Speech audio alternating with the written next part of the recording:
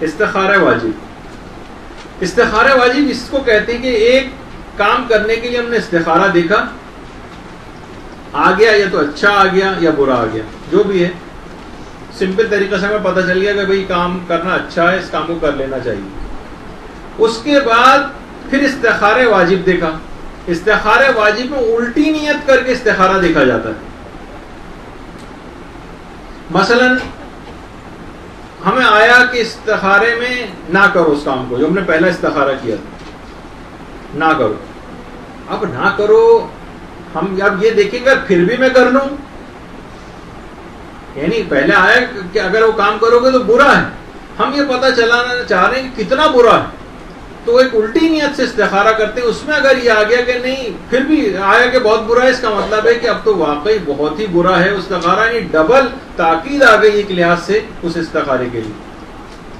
اس کو کہتے ہیں استخارے واجب۔ لیکن اس پر عمل کرنا واجب نہیں۔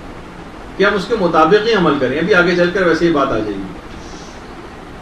کبھی استخارہ واجب میانہ بھی آ سکتا ہے، لیکن اگر دو دفعہ منع آ جائے تو یہ ڈبل ایک لحاظ سے تاکید ہو جاتی ہے۔ مثلا ہم نے ایک استخارہ کے اس محلے کو چھوڑ کر دوسرے محلے جائیں یا نہیں جائیں؟ یہ محلہ اچھا نہیں ہے، سوچ رہے اس محلے سے چلے جائیں۔ استخارہ کے استخارہ آگے کے ہاں چلے جائیں۔ ٹھیک ہے، استخارہ جا سکتے ہیں۔ ہم نے الٹی نیت سے استخارے دیکھا کہ اگر ہم پھر بھی یہاں پر رہیں، تو پتہ چلا کہ استخارہ اس میں بھی منع آ گیا۔ اس کا مطلب یہ کہ چاہے آپ اس جگہ کسی اور دوسرے محلے میں جائیں یا نہ جائیں، کم سے کم اس محلے کو تو ضرور چھوڑ دیں، کیونکہ اس میں رہنے میں اب نقصان ہے۔ آپ کے لیے یعنی اس میں ڈبل تاکید آ جاتی ہے، الٹی نیت سے استخارہ دیکھتے ہیں اگر پھر بھی نہ میں ایسا کروں، اگر پھر بھی میں اس کام کو کر لوں تو کیسا ہے؟ اور پھر بھی اگر منع سختی کے ساتھ آ جائے تو اس کا مطلب ہے کہ اس کام کو کرنے میں بہت نقصان ہے۔ اس کو استخارہ واجب کہا جاتا ہے، اور لیکن اس پر عمل کرنا واجب نہیں ہے۔ فقط دنیاوی نقصان ہو سکتا ہے آپ کو کہ جس کے لیے ہم استخارہ دیکھیں اب ایک بات اور یاد رکھ لیجیے کہ استخارہ جو ہے وہ اصل میں اس کو کہا جاتا ہے کہ یہ امر ارشادی استخارہ امر ارشادی۔ یعنی حکم کی اصل میں نا دو اقسام ہیں۔ ایک کو ہم کہتے ہیں حکم مولوی، جو آقا و مولا کی حیثیت سے پروردگار حکم دیتا۔ حکم، جیسے نماز پڑھو، یہ حکم مولوی ہے۔ آقا اگر ہم نہیں نماز پڑھیں گے، تو ہمیں خدا عذاب دے گا۔ اسے حکم مولوی کہا جاتا ہے۔ ٹھیک ہے؟ لیکن مثلا یہ فلاں پھل کھاؤ جیسے کہ بہت ساری روایتوں میں بھی آتا ہے، یہ حکم ارشادی کہلاتے ہیں جب ہی کہا جاتا ہے کہ تہذیب الاسلام کی اکثر روایتیں، وہ حکم ارشادی۔ ان کا ماننا واجب نہیں لیکن اگر ہم نقصان خود ہی اٹھائیں گے، اگر ہم اس کی مخالفت کریں گے۔ جیسے ڈاکٹر اکثر کہتا ہے، بھائی، یہ چیزوں کھانوں کی آپ احتیاط کریں، زیادہ ثقیل غذا نہ کھائیں، چکنی غذا نہ کھائیں۔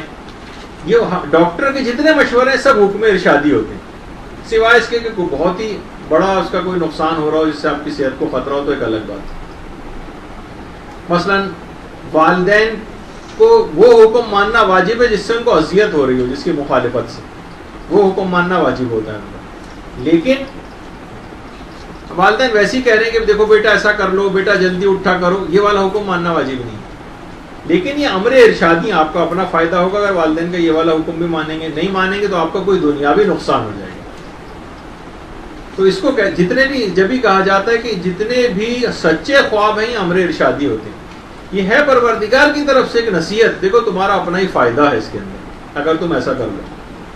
تو استخارے کو کہا جاتا ہے کہ استخارہ جو ہے، وہ اصل میں امر ارشادی یہ امر مولوی نہیں، یہ امر ارشادی تو اسی وجہ سے جب جیسے میں نے کہا کہ جتنی بھی تہذیب الاسلام کی روایتیں ہیں، وہ زیادہ تر امر ارشادی کے معنوں میں ہوتی کیا جیسے اس میں امر جو امر مولوی ہوتا ہے، جو آقا اور مولا کی حیثیت سے پروردگار حکم دیتا ہے، اس کا نتیجہ آخرت میں ظاہر ہوگا یعنی عذاب کی صورت میں یا ثواب کی صورت میں جنت دے کر۔ لیکن امر ارشادی کی مخالفت یا موافقت کا فائدہ اسی دنیا میں مل جاتا۔ ہے آپ نے نئی بات مانی، آپ کو خود ہی دنیا بھی نقصان ہوگا۔ تو جب ہی کہا جاتا ہے، جیسے کہ حضرت یعقوب کو یوسف کے غم میں کیوں بیٹھنا پڑا؟ کہ پڑوس میں ان کے مستحق تھا اس تک خود پہنچ کر نہیں گئے، اس کی وجہ سے یہ نتیجہ ہوا اس کا کہ کیوں پڑوسی کی خبر گیری نہیں کی؟ ایک امر ارشادی ہے، ذرا خیال رکھنا چاہیے تھا، ایک نبی کی شان سے تھوڑے سے بعید بات تھی۔ تو اسی دنیا میں ایک نقصان یہ ہوا کہ اپنے بیٹے سے اتنے سال تک دور رہنا پڑا۔ یا مثلا حضرت یوسف جب وہ کوئی قیدی رہا کر جا رہا تھا اور خود بھی قید تھے تو کہا بادشاہ سے میرے لیے سفارش کر دینا رہائی کے لیے۔ تو خود اس کے بعد یوسف بہت پچھتائے تھے اور اس کے بعد ایک سال ان کی رہائی میں رہ گیا تھا اس کی پاداش میں مزید چار سال تک اور ان کو قید میں رہنا پڑا۔ دنیا ہی کے اندر نقصان ہو گیا۔ باپ کے احترام میں ذرا کمی کی، بادشاہ مصر ہو گئے تھے، یعقوب سامنے سے آ رہے ہیں، یعقوب فرت شوق میں، محبت میں بیٹے کی گھوڑے سے نیچے اتر آئے، بھاگتے ہوئے جا رہے ہیں۔ یوسف کی طرف، یوسف کیونکہ بادشاہ ہو چکے ہیں، احترام میں ذرا کمی کر دی، سب اپنے جاہو حشم کے ساتھ ہیں، گھوڑے سے پہلے نیچے نہیں اترے۔ اسی وقت دیکھا کہ ہاتھ میں سے ایک نور سا نکل کے آسمانوں میں چلا گیا ہے۔ جبریل نے آگے کہا، یوسف، نبوت آپ کی سلب سے لے لی گئی۔ باپ کے احترام میں آپ نے کمی کر دی۔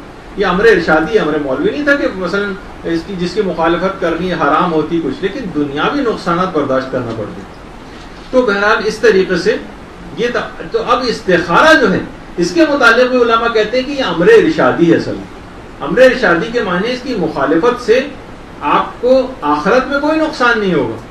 فقط اس دنیا کے اندر نقصانات ہوں گے جو برداشت کرنا پڑیں گے۔ غلط جگہ مثلا ہو سکتا ہے شادی ہو جائے، کاروبار میں آپ نے اس کی مخالفت کی، کاروبار میں نقصان ہو جائے، کسی اور چیز کے اندر اس طرح سے نقصان ہو جائے برحمتك يا أرحم الراحمين وصلى الله على محمد وآله الطاهرين.